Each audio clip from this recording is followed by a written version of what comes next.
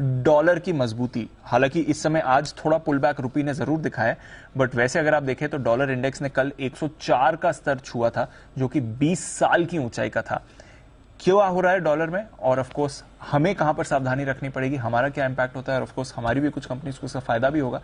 थोड़ा ये समझते हैं कुशल के साथ। कुशल बताइए।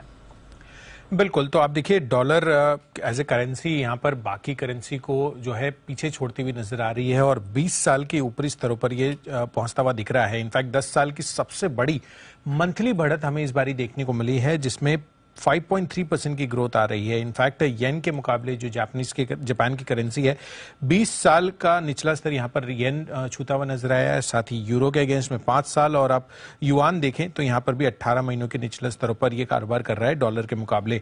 तो ये क्लियर कट ये इंडिकेट कर रहा है कि ये क्यों हो रहा है ऐसा। अब इसकी रीजन दो चार हैं। सबसे पहले तो यही है कि यूएस में जो ब्याज दरें तेज़ी से बढ़ने का अनुमान लगाए रहे हैं, उससे कहीं ना कहीं डॉलर की जो डिमांड है वो बढ़ रही है।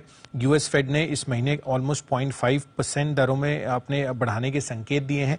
तो इससे एक इंडिकेटिव बन रहा है कि आगे चलकर यहाँ पर इस पर इम्पैक्ट आ सकता है। इनफैक्ट चाइना और साथ ही यूरोप में जिस तरह की इकोनॉमिक अभी आप कह सकते हैं कि परेशानी चल रही है या ग्रोथ को लेकर चिंता है चाइना में स्पेसिफिकली जो कोविड के केसेस आ रहे हैं, उसकी वजह से कहीं ना कहीं थोड़ा सा ग्रोथ बाकी अन्य करेंसीज की जो डिमांड है वो कम होती हुई दिख रही है डॉलर के मुकाबले।